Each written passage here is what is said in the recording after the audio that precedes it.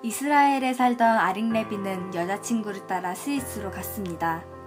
그리고 그곳에서 아릭 레비는 디자인과 사랑에 빠졌죠. 만학도였던 그가 어떻게 세계 3대 디자이너 중 한 명이 되었을까요? 아릭 레비의 디자인은 단순히 아름답거나 실용적인 것에서 끝나는 것이 아닙니다. 그는 첨단 신소재의 상상을 결합해 휴머니티를 디자인에 투영했습니다. 이런 그의 특별함이 돋보이는 작품이 있습니다. 그것은 바로 엄브리칼 조명. 이 조명은 보통 조명들과는 달리 전구보다 전선이 도드라져 보입니다. 본래 전선은 숨기거나 깔끔하게 보여주는 것이지만 전선에 탯줄이라는 상상을 결합한 것이죠. 게다가 인간의 DNA가 그러하듯 엄브리칼의 전선들 또한 각각 다른 형태를 지니도록 했습니다.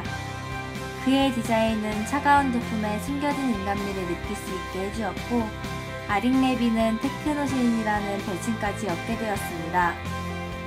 그는 과학기술에 자신의 DNA를 주입하여 새로운 생명을 탄생시키듯 새로운 가치를 창출해냈습니다.